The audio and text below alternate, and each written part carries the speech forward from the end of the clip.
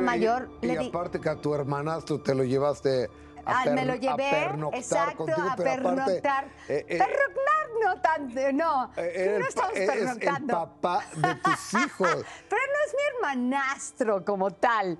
O sea, Pues sí, ¿no?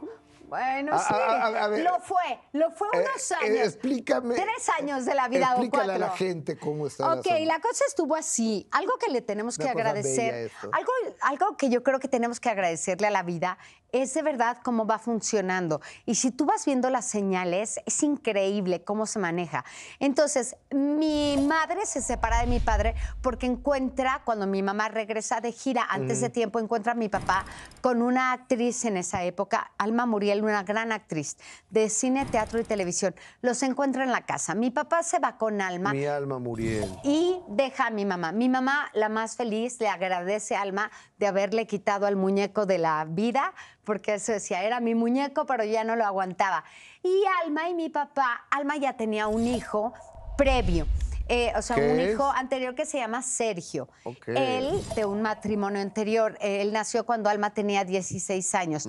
Y entonces después tiene, ocho años después, tiene a Lisa, que es mi hermana. Ok. Le- y, es, ella es hija de mi papá e hija de Alma. Entonces, tenemos una media hermana en común, el papá de mis hijos y yo, que es Lisa. Pero a mí me gustaba mucho mi hermano cuando yo era muy niña. Yo decía, qué guapo está este niño. Sí, era una niña bastante loquita.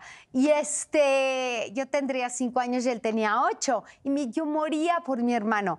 Nos dejamos de ver ¿qué será? Sí, 13 años de la vida, me lo encuentro en una gira en qué plantón y dije, wow, vamos a divertirnos un rato. Y terminamos siendo pareja. A ver. Va, ¿me vas a preguntar, vamos a divertirnos un rato?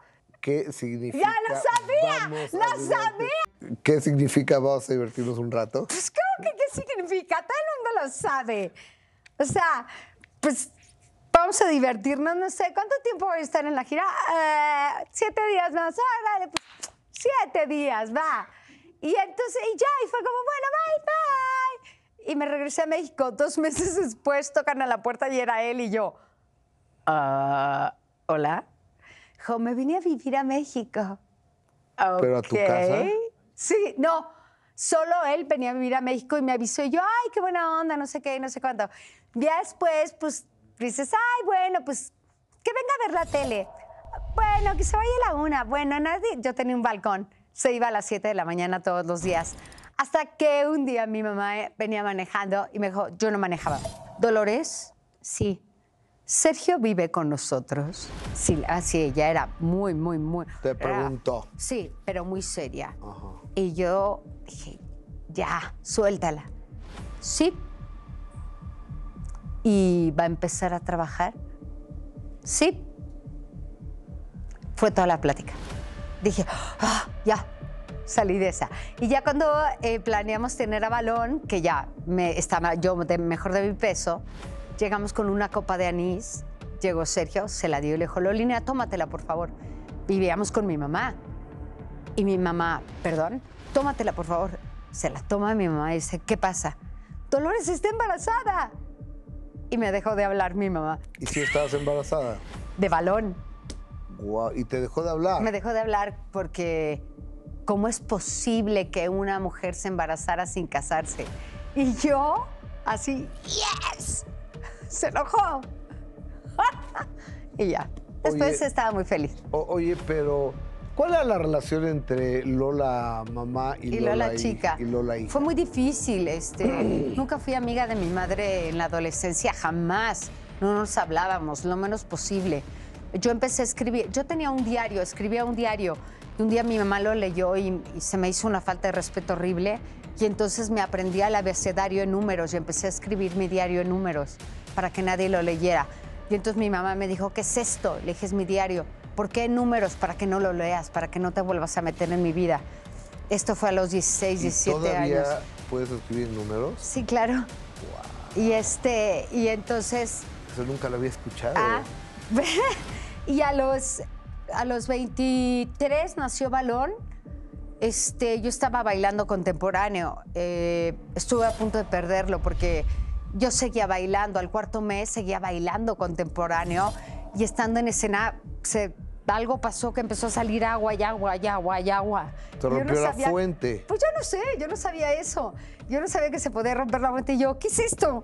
Entonces yo dije, no, soy una actriz, voy a terminar la función. La tonta. Terminé la función y un compañero, Iván Caraza, me cargó y me llevó al camerino porque él era el único que sabía que estaba embarazada. Nadie de la compañía sabía y de ahí me mandaron a la cama. Este, por supuesto que no estoy en la cama. Les dije, cálmense, tomaba medicamentos para las contracciones y al octavo mes ya nació balón, súper bien, tres kilos. Guau. Tres kilos y tú eres chiquita de tamaño. Ah, no, no, calma, no fue parto natural.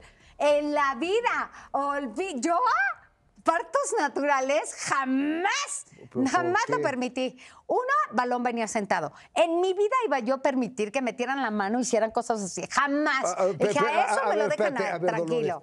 pero tú cómo sabes. ¿Cómo que cómo sé? Pues obviamente me instruí, me eh, es que a mí me, a mí me late, digo, no sé, a lo mejor es una eh, estupidez de mi parte, que muchas veces dice, el niño viene de cabeza o viene al revés, no sé qué, para cobrarte más, ¿no? No, pues es que. Yo digo, pienso, a lo mejor es una eh, tontería. sí, tengo 53, no 73. ya se podía ver cómo veía el, niño. y entonces dije, oh, pídelo. O sea, por favor, abran eso ahora. A partir de ahí, yo obviamente tomé psicoprofilácticos y todas estas cosas, porque además yo súper hippie, quería tener a mi hijo en, el agua. Y a la hora que viene, ¿qué dicen? ¿Mandé? No son delfines. Deja eso. O sea, a la hora que yo vi un parto, así visto desde ahí, dije, se acabó, nunca más.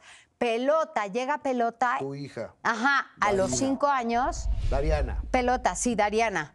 Y entonces. ¿De dónde ah, dices pelota como si la gente supiera que tú le la gente pelota sabe, a tu La gente sabe que mi hijo es balón y mi hija es pelota alguien que está aprendiendo ahorita la tele, estás hablando de pelota. ¿Y esta señora qué le pasa? No es un insulto, es con cariño. No, yo sé. bueno, a mis hijos les digo balón y pelota. Y cuando nació pelota, nació a los nueve meses y me dijeron, yo este, llegué un día antes, una noche antes, me fui manejando. Y me dijo, ay, ¿te podrías quedar? Tienes como seis centímetros de dilatación. Y le dije, no, dejé a mi hijo en la casa, vengo mañana. Entonces ya me regresé, arreglé mis cosas. Me dijo, es que no creo que aguantes. Le dije, tú no me conoces. Y ya, me levanté al siguiente. Muchachos, arriba, que ya van a hacer el bebé. No sabíamos qué era. Y llegué, e igual me dijeron, no, eh, no creemos que vaya a nacer eh, natural. Le dije, Obi, por favor, abran eso no, pero es que si tuviste una cesárea, forzosamente el segundo tiene que ser cesárea, ¿no? No, no, no, forzosamente no. Lo que sí no te eh, recomiendan es que sea una cesárea, no sé, al año y medio después de la otra. ¿Y qué diferencia hay de edades? Cinco años. Ah, ok. Sí,